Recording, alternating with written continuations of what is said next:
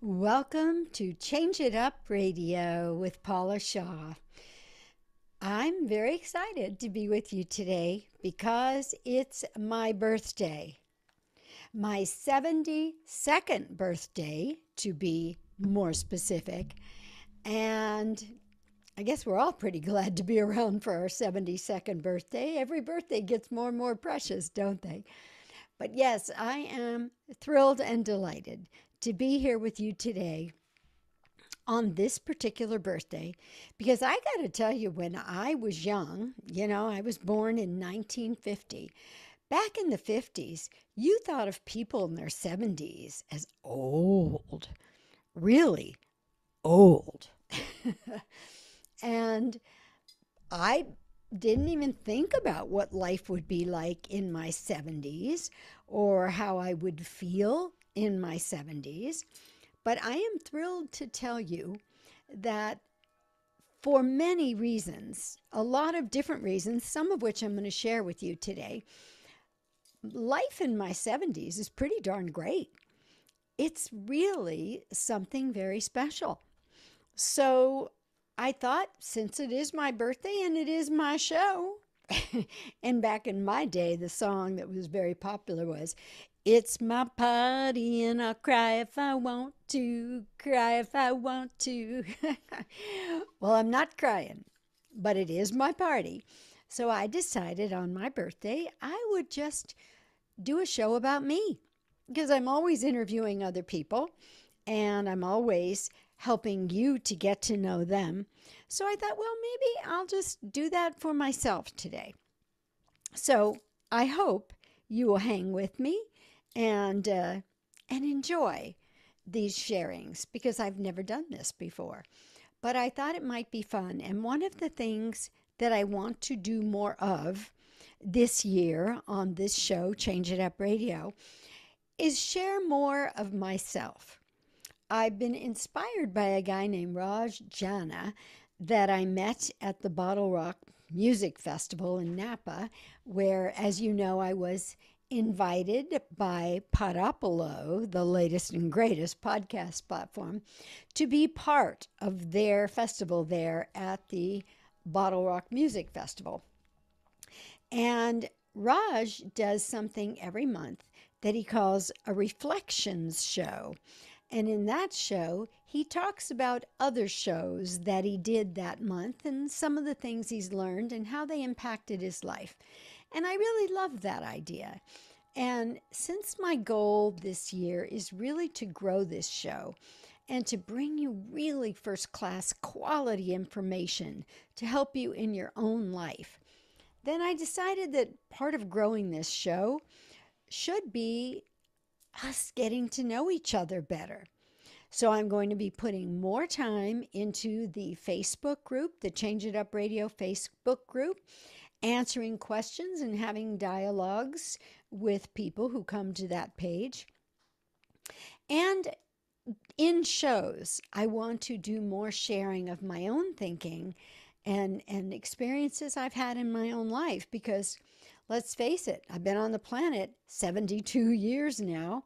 I've had some things happen, and I'm happy to say I've learned some things that have been very valuable.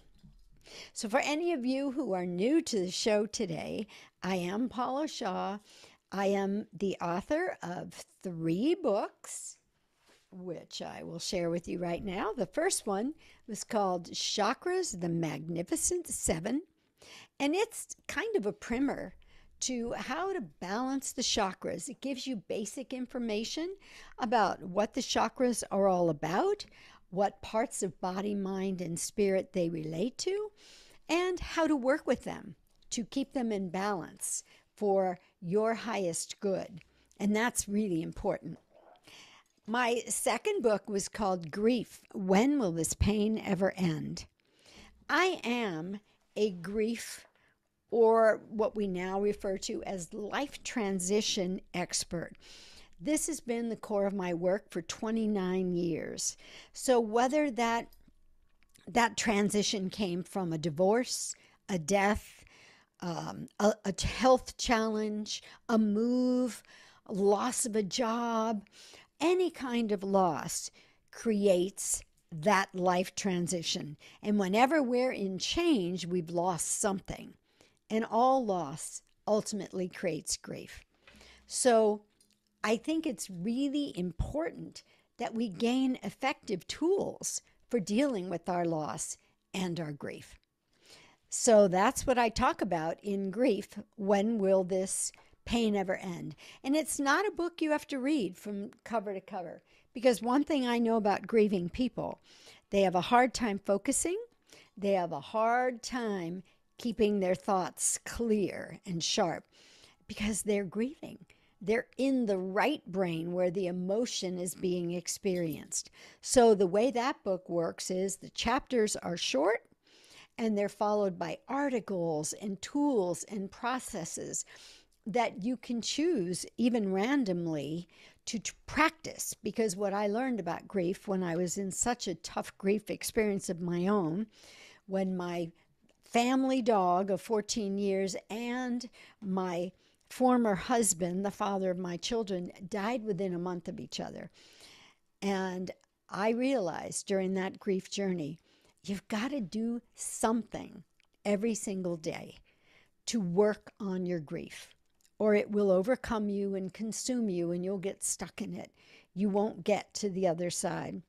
Even if that's something you do, is what I call a gratitude walk.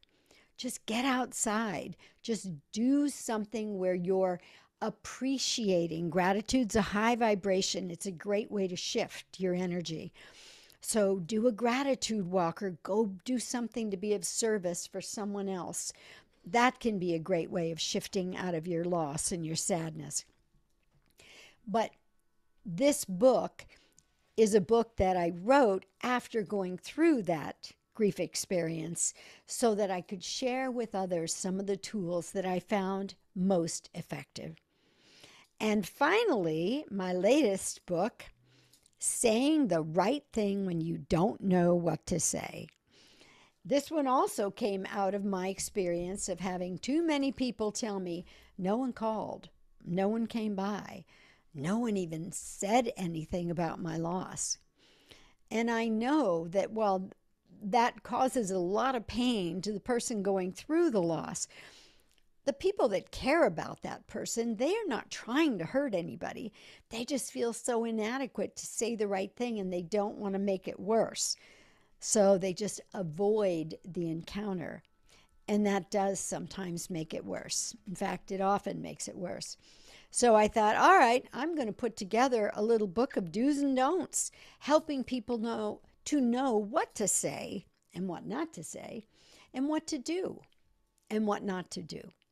So that's saying the right thing when you don't know what to say. And of course, all of those books are available on Amazon.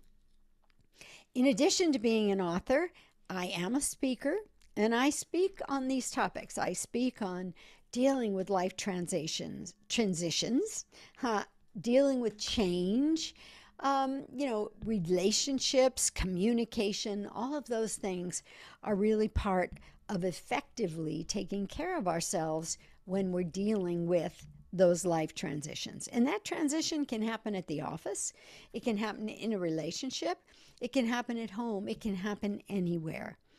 Change is the one thing we can count on always happening. And finally, I am a life transition coach. I work with people one on one dealing with changes in life that they may need some help with because, as we all know, sometimes the change is so big or it's so dramatic or so painful that we just need help in getting through it. And that's the other area of my work.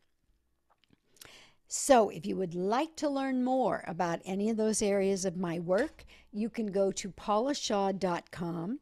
And while you're there, grab my free gift, which is a list of 20 things to say and not to say to people who are dealing with emotional pain.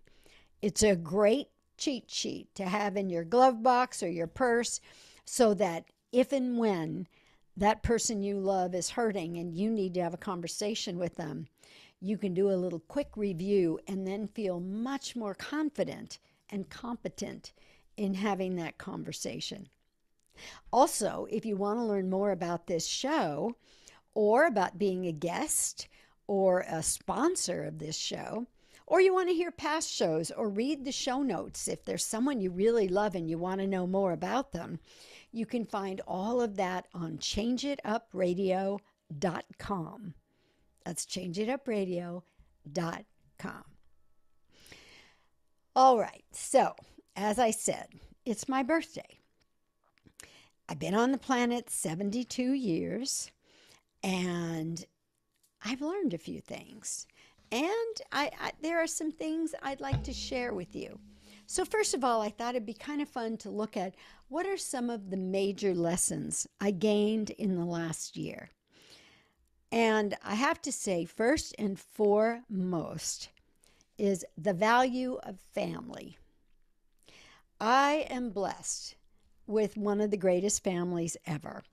My mom and dad are still in my life. They're in their 90s, and they obviously have been in my life all of my 72 years.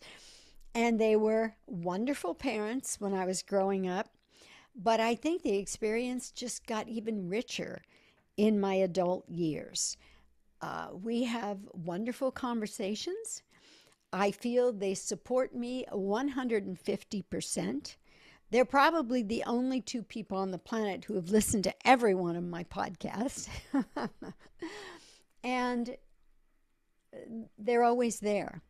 What can I say? They're always there. I can call any time of night or day, and that phone will be picked up, and they will really be interested in what's going on in my life and what I have to say. So, that is the first part of my family I'm so grateful for. Uh, my brother, Craig, and I um, together had one of the highlight experiences of my life when we were in our 20s, we traveled all over the United States in a truck and camper, and we were gone a little over three months. And we just, it was just an adventure every day. We were never exactly sure where we were going. We always had a general plan, but we were just open to wherever the wind took us. And it was a monumental, wonderful experience, I think, for both of us. And we are fortunately still in each other's lives in a wonderful way. His wife, Marilyn, and his daughter, Jenna, and his two sons, Patrick and Chris, are all a big part of my life still. I adore them all. Chris married Jamie, and they created one of the world's most wonderful children, Brielle. And Jenna married Eric, and they created the world's other most wonderful child, and that is Giada, my two great nieces. So that's all really wonderful. My sister, Leslie, and I have, well, been on the planet a long time together, and we support each other, we love each other unconditionally, and I feel blessed that there's nobody in my family that I don't feel connected to in a really powerful way. And that is pretty darn amazing. And then, of course, the picture was rounded out with my own two children, Aaron and Casey. And uh, Aaron is 37 years old, Casey is 34, and they truly are the light of my light. And the thing that I learned this year that's most important about family is even though sometimes we get really ticked off at each other, or we may hate each other's ideas or each other's politics, and yeah, we've been there, but we don't throw each other away. We don't stop loving each other or relating to each other or standing up for each other even when there are disagreements. And this summer, I went through a very, very unexpected and painful experience in a situation where I thought I was going to have relaxation and joy and a wonderful spiritual experience. But instead, I was misperceived in a situation that I had no real understanding about. And I was thrown away. A friendship of many years was just like thrown away, and I felt kind of disowned. And it was so painful and so difficult for me that what it did do for me was really make me appreciate those relationships that are part of my life where I don't get thrown away, even if I blow it, even if I make a really bad joke or, or I take a position nobody likes, even if I say something offensive, I don't get thrown away. I may get called out, and God knows my children are both excellent at that. I may get called out, which gives me the opportunity to apologize, but I don't get cast out. And that's huge. And so, if you're as lucky as I am to have family and friends who hang with you, even when you blow it, then say your prayers and say thank you because that is a gift, a huge gift, a huge gift. Another really powerful learning that came out of this year for me is realizing that my story is my story. My story doesn't have to be my parents' story or my siblings' story or even my ancestors' story. And we do know now because of the field of epigenetics that we do tend to inherit genetically the signatures of how our ancestors or predecessors responded to life. But even though we come in with that genetic load, still, in every moment of our lives, we're at choice. We still get to decide what we want to keep and what we want to let go of. And all we need to do is do the work, find the awareness, and do the work to let go of it. And it's not that hard. It's just remembering you are a separate being. I know there's a lot of fear in the world today that, oh, my mother had breast cancer or my father had a bad heart. That's probably going to happen to me. No, it doesn't need to. Your body is your body. Your story is your story. It doesn't matter what happened to the others because you are an energy being. We're actually more electrical energy than we are matter. And we guide that energy. We tell that energy how we'd like it to show up. That's the power of setting an intention. Telling the energy how you would like it to show up. So never forget how powerful you are. Your story is the story you choose to create. Even though sometimes things happen to us that we don't feel like we chose and we don't like the way it feels and what's happening, we still get to choose how we respond to it. We still get to choose whether we run with the negativity and the pain of it or we decide that we're going to be joyful and peaceful in spite of it. So remember, your story is your story. That was a huge learning for me this year as well. And finally, this the last piece that was huge for me this year happened after that painful experience that I described a little bit earlier. I was still agonizing about it. And I sat down with a very wise friend of mine and, and a coach, Ellen McCarty. And after telling Ellen the whole story, and her expressing how shocked she was that I would be so misperceived because most people seem to know who I am, and, and that is who I am. But then she sat thoughtfully for a moment and she said, Hmm, I think what I'm finally left with is when I really know who I am, when I know that with total certainty, others other people's perceptions don't really have to impact me at all. Think about that. When I really know who I am, other people's perceptions of me have not may have nothing to do with who I am. It's just their perceptions. Boy, if I had had that reality, that insight when I was in the midst of the painful experience, it could have changed everything. So I share it with you today. When you're really solid about who you are, when you know where your heart is, when you know what you're on the planet for and what you stand for and what you believe, if other people perceive you differently, oh well, walk away and stand tall. Do not let that devastate you. Do not let that anger you. It's just their perception. And we're all different, aren't we? We all came to the planet through different experiences.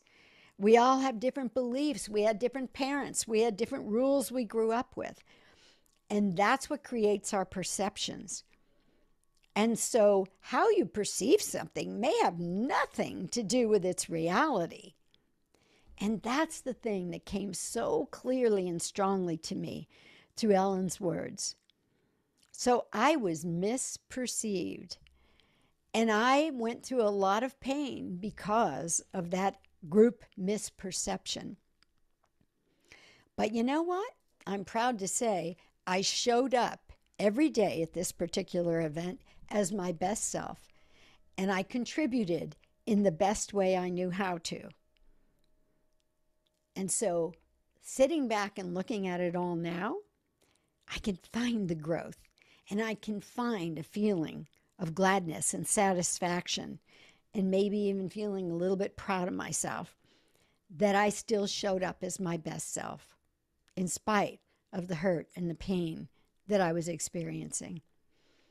And so I encourage you to do the same because you know what? In the end, the only thing that matters really is how you feel about yourself, how you feel you showed up, and if you did the best you could. We're not responsible, nor can we control how other people perceive us. That's not our responsibility. Our responsibility is just to show up authentically and be our best self and give in the best way that we can. And that's how we make an experience as bright and as meaningful and as filled with value as it can be. it kind of reminds me of an old poem that many of you may know um, that that I think is so important and I'm going to share that with you in just a moment.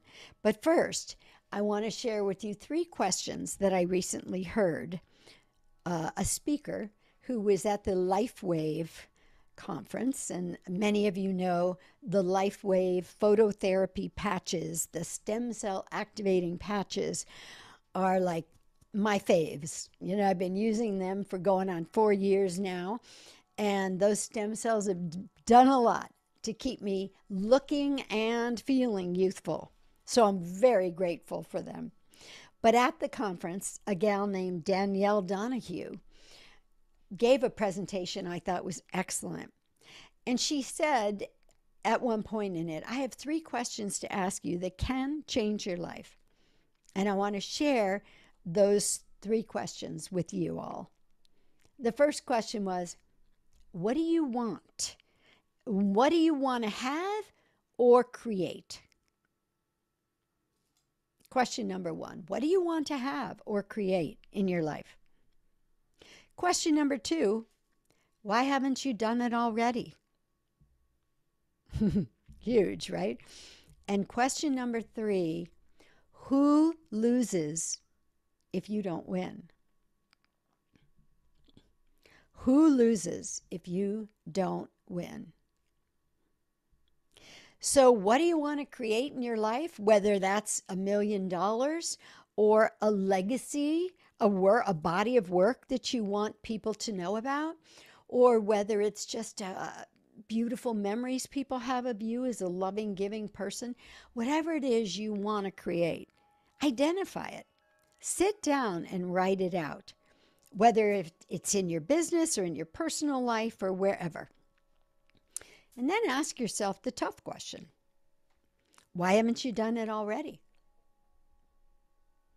What has stopped you from doing it already?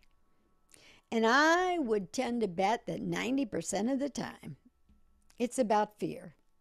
We're either afraid of the things we'd have to do to get where we want to get, or we're afraid of how we'll be perceived by others, or we're afraid that we're not enough, we're not smart enough, pretty enough, talented enough, or whatever to actually achieve that thing we dream about. Fear. But if fear stops you from ever taking a shot, then for sure you will fail. You won't get what you wanted. So it's kind of like, what the hell? Give it a shot. Give it a shot. Because if you don't, well, for sure, you won't get it. You will fail. So I thank Donnell Donahue for planting that seed in my head. And again, it reminded me of this, of an old poem by Oriah Mountain Dreamer that many of you will remember. Many people think that the quote came from Nelson Mandela, but in actuality, it came from a paragraph in Marianne Williamson's book, Return to Love. So, in closing this show today, and in closing my 71st year and welcoming my 72nd year, during which I'm going to strive to love myself more, accept myself more, share my truth more, be the most authentic person I can be, and not worry about how other people perceive me. Because one of the things Donnell said in her talk was even if people view your page and say terrible things to you about what you've posted on social media, you still got a view. You still got another view. So you win. And I think that's kind of the way to look at this whole thing, isn't it? That no matter what happens to you, if you look from that perspective, you will always find that you won you either won growth, you won a new insight, you won a lesson, you won something. So I intend this to be a year of winning. Winning. No matter what life presents me, I'm going to win. So I want to share with you here in closing this show two poems that I remember from my youth because they were both written by Oriah Mountain Dreamer. And I always thought that was a publishing company. But in doing my research today, I found out Oriah Mountain Dreamer is actually a person, a woman who changed her name to Oriah because of the meaning of it, that it meant light of God. And she felt that with the revelations she was having and the things she was learning, that was more appropriate. And in certain Native tra- American traditions, they believe you need to change your name when you're trying to create a healing. Isn't that an interesting idea? Almost as though the illness or the condition is attached to the other name. So let's change that name while we're healing it. Interesting thought. So, this is one called Our Deepest Fear. I was just saying that what mostly blocks us from having what we want in life on some level is some kind of fear. So let's take Marianne Williamson's words about fear and put them to work. Our deepest fear is not that we are inadequate. Our deepest fear is that we are powerful beyond measure. It is our light, not our darkness, that most frightens us. We ask ourselves, who am I to be brilliant, gorgeous, talented, famous? Actually, who are you not to be? You are a child of God. Your playing small does not serve the world. There's nothing enlightened about shrinking so that other people won't feel insecure around you. We are all meant to shine as children do. We were born to make manifest the glory of God that is within us. It's not just in some of us, it's in everyone. And as we let our own light shine, we unconsciously give other people permission to do the same. As we are liberated from our own fear, our presence automatically liberates others. Isn't that cool? I love that. I love it. And now I'm going to indulge myself, since it's my birthday, in reading you one other poem by Oriah Mountain Dreamer. And this one is actually written about from a woman who's looking for a relationship. And so I want to go on record as saying, I think now in my 72nd year, I'm finally actually open to having a relationship in my life. I think I needed to be alone a lot of years here so that I could really find me and give her airtime and and learn to value her and not put her second because I'm in a relationship with a man. And when I read this, I thought, "Oh my goodness, this is like so perfect. I think this would be the perfect profile to put on um, an, an internet dating site if I really wanted someone to get a feeling for who I am and what I'm looking for. So I share it with you guys also as a way of sharing it with the world. And any man who might find and the idea of a relationship with me interesting, okay, here's the heads up. It doesn't interest me what you do for a living. I want to know what you ache for. And if you dare to dream of meeting your heart's longing. It doesn't interest me how old you are. I want to know if you will risk looking like a fool for love, for your dream, for the adventure of being alive. It doesn't interest me what planets are squaring your moon. I want to know if you have touched the center of your own sorrow, if you have been opened by life's betrayals, or have become shriveled and closed from fear of further pain. I want to know if you can sit with pain, mine or your own, without moving, to hide it or fade it or fix it. I want to know if you can be with joy, mine or your own. If you can dance with wildness and let the ecstasy fill you to the tips of your fingers and toes, without cautioning us to be careful, be realistic, to remember the limitations of being human. It doesn't interest me if the story you're telling me is true. I want to know if you can disappoint another to be true to yourself. If you can bear the accusation of betrayal and not betray your own soul.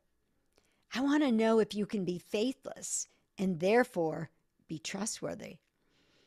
I want to know if you can see beauty, even when it is not pretty every day, and if you can source your own life from its presence. I want to know if you can live with failure, yours and mine, and still stand on the edge of a lake and shout to the silver of the full moon, Yes! It doesn't interest me to know where you live or how much money you have. I want to know if you can get up after the night of grief and despair, weary and bruised to the bone, and do what needs to be done for the children. It doesn't interest me who you are, how you came to be here. I want to know if you will stand in the center of the fire with me and not shrink back. It doesn't interest me where or what or with whom you have studied. I want to know what sustains you from the inside when all else falls away. I want to know if you can be alone with yourself and if you truly like the company you keep in the empty moments. That's what I want to know about somebody who's interested in having a relationship with me. So, thank you all for indulging me in my birthday episode of Change It Up Radio. It was really fun getting to share some of my learnings and experiences with you. And I look forward to more of this in our reflections episodes in the coming year. This fall, our whole fall season is going to be around the theme Giants on the Road Less Traveled. And we are going to be interviewing some really interesting people who have had the guts to do something different and to step into their dreams. We'll be beginning next week with Chad Stewart, author of the Britfield series. We talked to Chad last year, but he's just about to release his third book in the series. And he's got a movie in the works, and he's got a play for school children that's written and being performed, and so much more. So please join us next week when we get into our fall series, Giants on the Road Less Traveled, right here on Change It Up Radio. Remember, you can hear us on every major podcast platform, including my favorite, the latest and greatest that offers you so many cool features, Podopolo. Don't miss that. And by the way, two of the giants we're going to be interviewing will be chairman of Podopolo, Steve Little, and CEO and founder, Melinda Wittstock. So hang with us this fall. We're going to have some wonderful, wonderful, insightful really, truly educational shows. And remember, please, to like us and subscribe to us so that we can grow this show and keep bringing you information that will help you handle change more effectively and more smoothly, or shows that will be spotlighting change makers who are trying to make the world a better place. Thanks for being with me and I'll see you next week. Until then, take care, be safe. Bye bye.